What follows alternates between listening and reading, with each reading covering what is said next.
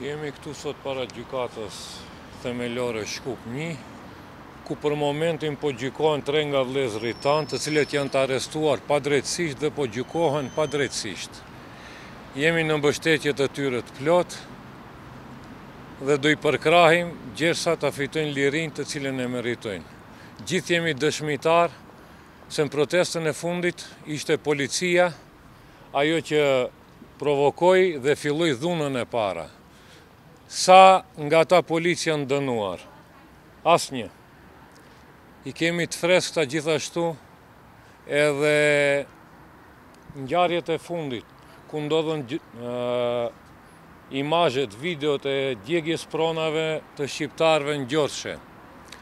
Kemi të freskëta gjithashtu Faktet e shkatërrimit mbjellave të bujqve shqiptarë të Shkupit. I kemi të freskëta në memorien tonë djegien e pronave të shqiptarëve në Veles, Prilep, Manastir, gjithashtu edhe të xhamive. I kemi të freskëta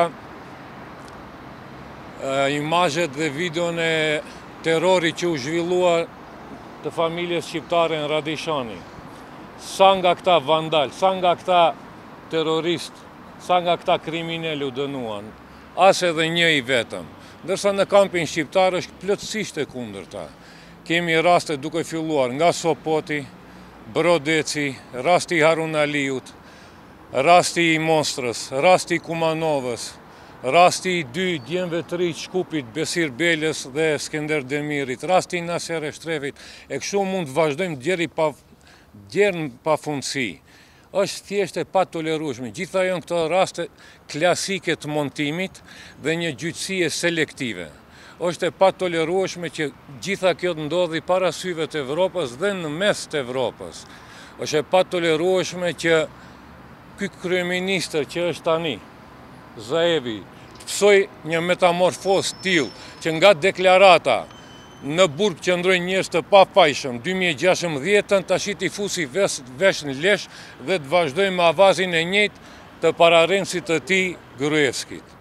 Këto gjëra duhet të marrin fund, andaj ne Këtu jemi mbledh disa anëtarë, disa këshilla të organizatave dhe iniciativave të ndryshme, siç jemi ne Boll Më, është iniciativa Ta shpëtojmë Kodrën e Diellit, është iniciativa anti-Bixhoz, si dhe aktivistë të ndryshëm të shoqërisë civile, dhe vendosëm që të veprojmë të bashkuar brenda një unioni për t'ju kundërvu të gjitha këtyre padrejtësive.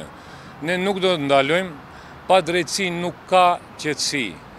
Liri, drejtësi për gjithë këta t'akuzuar, gjithë këta t'dënuar, jetët e të cilëve po shkatërrohen.